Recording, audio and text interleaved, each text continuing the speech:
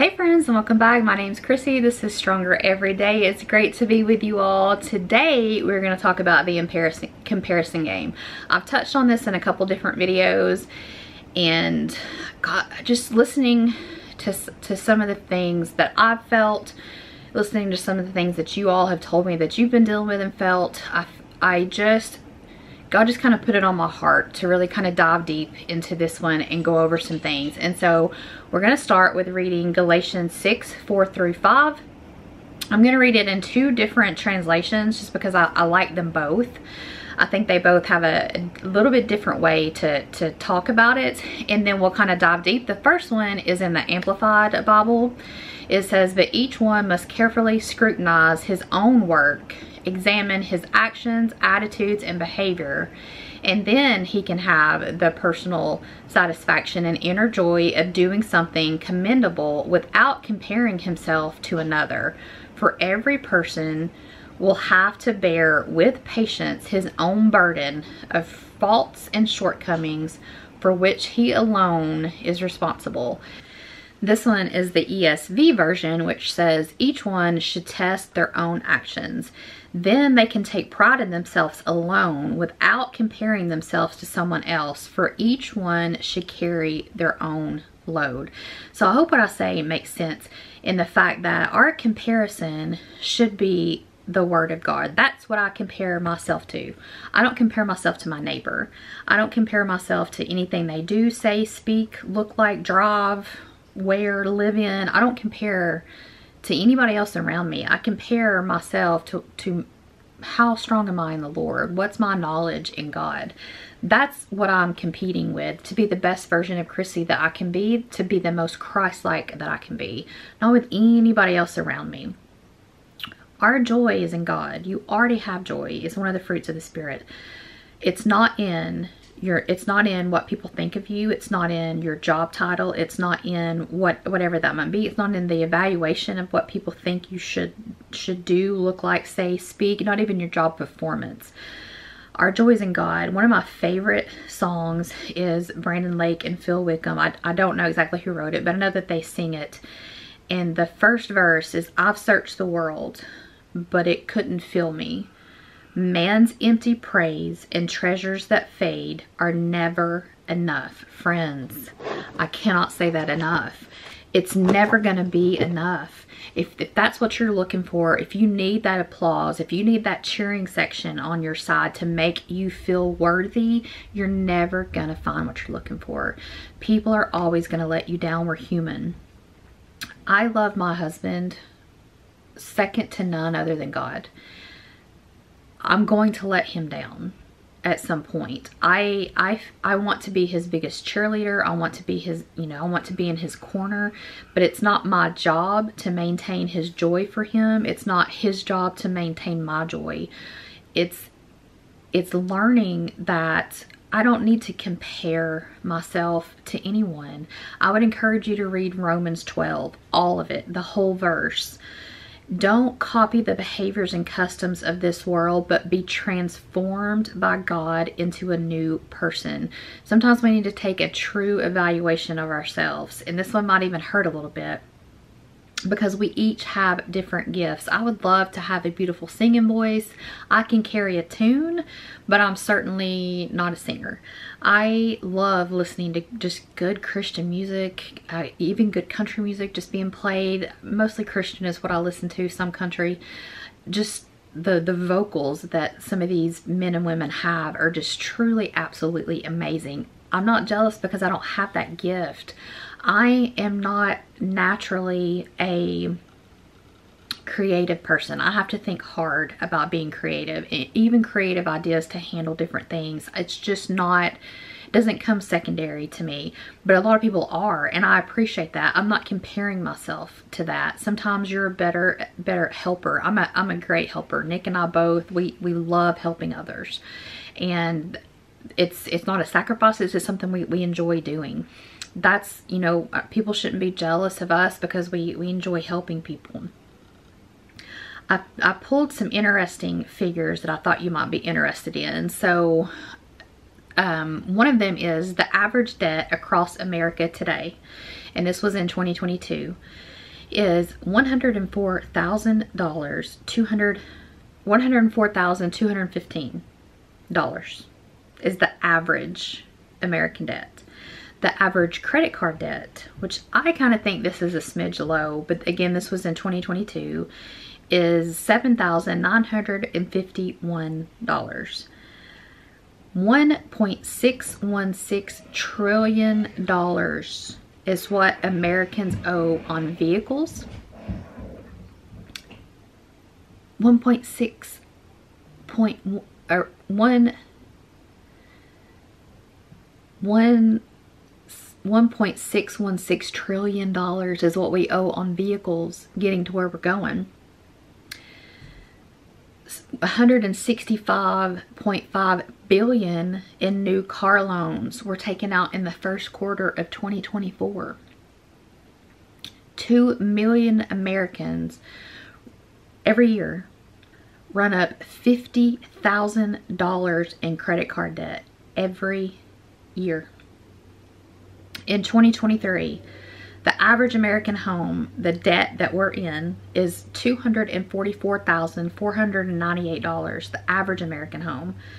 Average American auto debt is almost 24,000. The average credit card debt is almost 6,500 and the average student loan debt is almost $40,000 all of these things that you see, these big beautiful houses, these big beautiful cars, this education that we've gotten, these these fancy clothes, the the jewelry, the vacations, all of the things, most Americans are not paying cash for those. I know of, I can tell you three people that I know in my life, good good close either family or friends right now today that can pay cash for a home. And I mean a nice home. They can pay cash for a vehicle. They can pay cash for land. They can pay cash for jewelry and credit and whatever. They don't have to charge it. They can actually pay cash. I know three people in my life. Three. And we know a lot of people. Um, both friends, family, and then acquaintances. We know a lot of people. Nick grew up in a small town, so kind of everybody knows everybody. Three people that I know that could pay cash. So we're comparing ourselves to not reality, right? When you see these beautiful beach vacations or this tropical vacation, a lot of those people did not pay cash for that. They put it on a credit card. And what I mean by paying cash, most of the time you have to put it on a credit card, but I mean immediately paying it off as soon as the bill comes. I'm saying that they are taking months and years to pay off said vacation it's all keeping up with the Joneses, keeping up with the look, keeping up with the facade. And why are, why are we doing that? It causes nothing but stress, anxiety, depression, eating disorders. It causes all kinds of mental health things. Why are we doing that to ourselves? I don't want to keep up with anybody. Nick and I live in a 1300, basically 1300, I think. Might be, it's either a little over or a little under might be a little under. Anyway, 1,300 square foot manufacturer's home.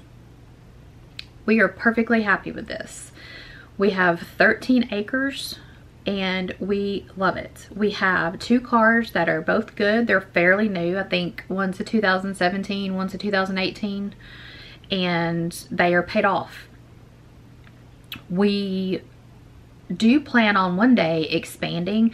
What one thing that we've learned and i'm not saying it's you shouldn't have things that you don't need things you shouldn't want things you shouldn't you know get a bigger home or, or have a, a car that works. That's not what i'm saying. What i'm saying is is that one thing we've learned is that we would like to expand. Not because we need the square footage per se but because we need things to be a little bit different. So like the, the layout of this is our bedroom so letting this be a guest room in case one day that we have a family member that needs to come live with us, then they have a pretty good sized room and a bathroom adjoined. And then we want to, to create another bedroom and bathroom out the back that's a, a master bedroom and bath that has a walk-in shower. We've really underestimated the need for ever needing one of those until you can't step into the bathtub. So both of ours have are the tub shower, just insert, you know, combos. And that's been really hard for Nick to get in, in and out of. And even for me, when different surgeries I've had, it's been hard to get in and out of. And so we very well see the need for that. I'm not comparing that I think, you know, Sally, Sally Joe across the holler has a, a bigger house and so I want a bigger house. It's not wrong to, to need things and want things. It's not wrong to spend money on yourself. It's not wrong to have nice things. That's not what I'm saying. So don't, don't misinterpret that what is wrong is when you you feel less than because you're in your mind you're not interpreting that you have the same thing as Sally Joe down the down the street it's irrelevant find find what your where your peace is find where your happiness is and go all in in that i truly don't think that god's going to promote you if you can't be content I'm not saying that you don't want other things, but that you're content with what you have, you're blessed with what you have, and that and that then God can give you more. But if he's already given you something and you can't be happy with that or blessed with that, if you think about even people that we are in the poverty level, right? Even people that are in poverty level here in America are still have it better than a lot of people around this world. Do you have it as easy as someone who has a million dollar home or has a 10 uh, you know a 10 million dollar home with a with a butler and a maid and a nanny and has a chauffeur? I mean, let's we're not comparing apples to apples here, you know. My life isn't like that. I can't imagine my life ever being like that. I don't think I would ever want that but anyway, for a whole different reason. But so it's it's it's getting out of the comparison game, right? Quit looking at a reel or reels on social media and seeing all these things that you think these people have when there's no transparency of okay, this vacation that we just took, it cost $10,000 and so now we're going to have to sacrifice for the next year and a half to pay that back. But whoa, did it look good in pictures, you know? And I'm not saying that's why we take pictures is, to, is so that people can think it's more. A lot of times it is for the memories. My mom was a huge picture taker. I have totes and totes and totes of pictures that my mom took.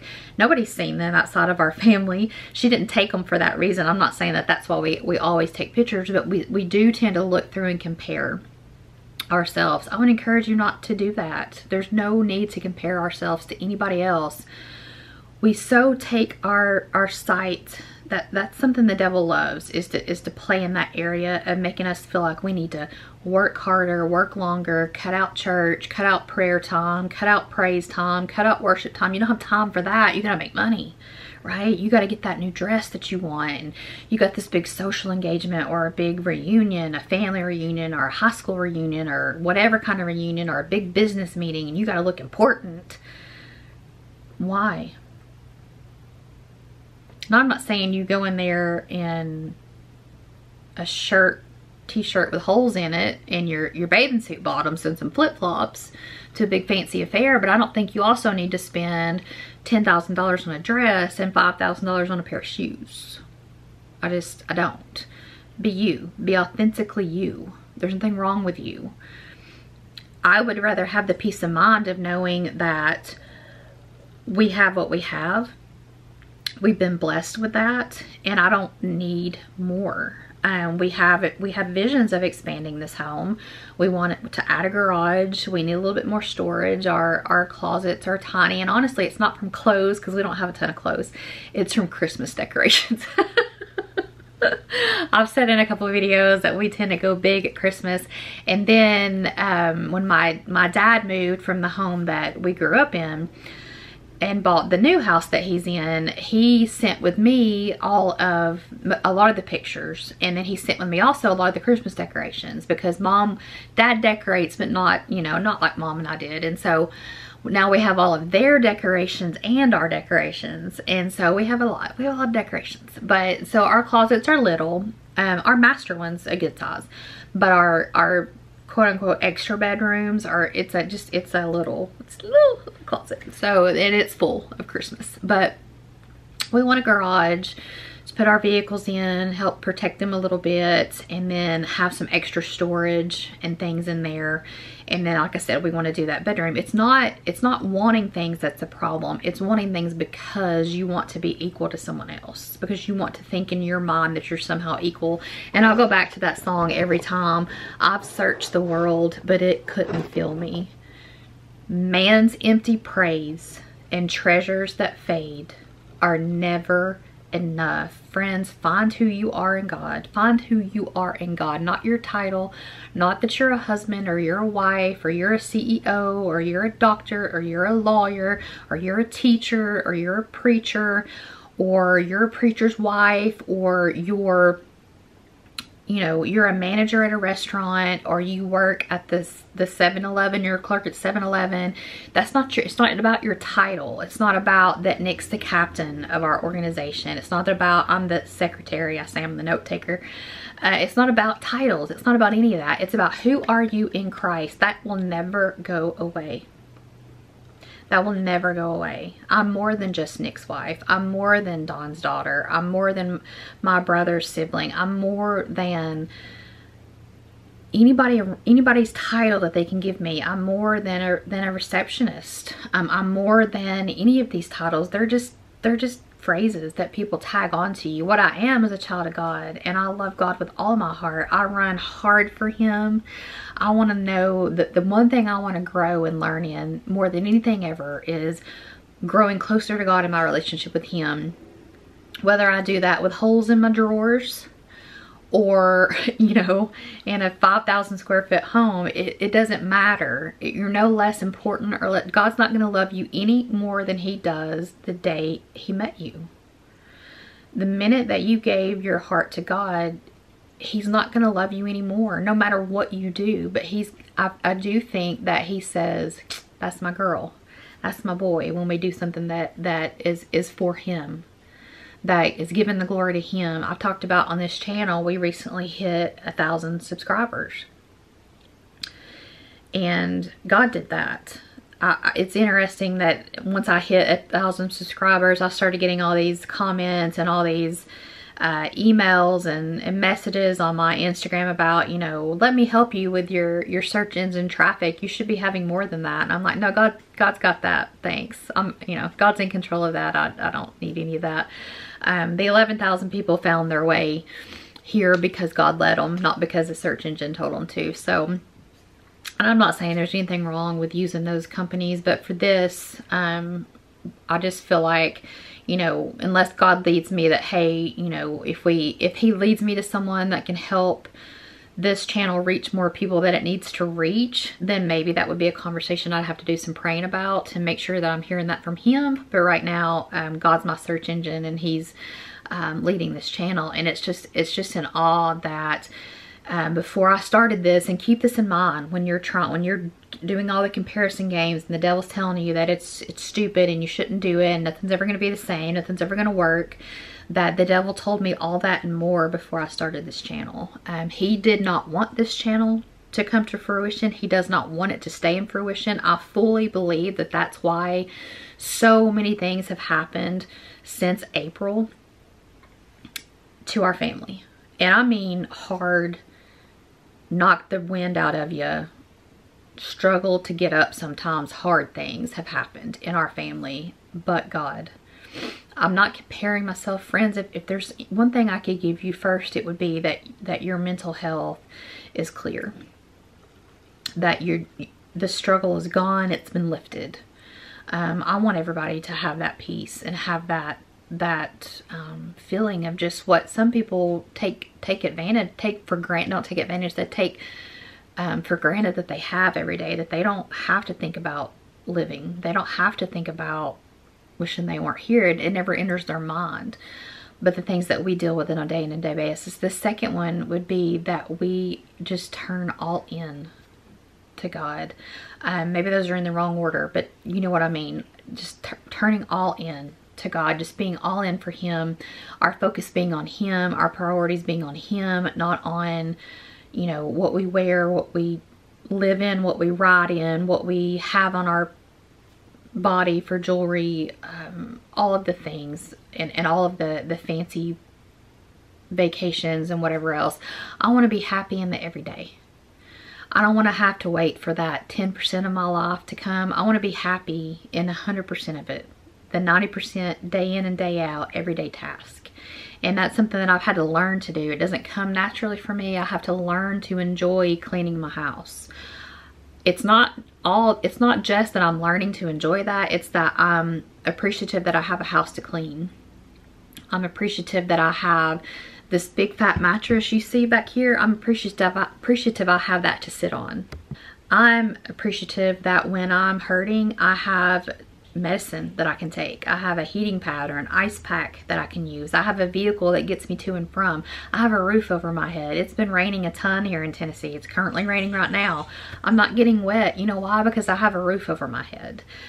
The blessings that we get on a day in and day out basis. I want to be excited about getting up every morning and going to work because sometimes I'm gonna be real honest, I'm tired and I would just really, really love to have another hour's sleep. But I know that, that God's gonna lead me to do something for somebody that day, even if it's smiling at somebody when they're scared. Even if it's talking with somebody for three to five minutes that takes their mind off of it, or even if it's sitting with, with one of the people I work with and just listening to their story. Friends, I end every video this way. It's always my heart and hope that you feel this. God loves you and he loves you for you just the way you are. I love you. Your family, your friends love you and we need you here. We'll see you in the next one, friends. Bye.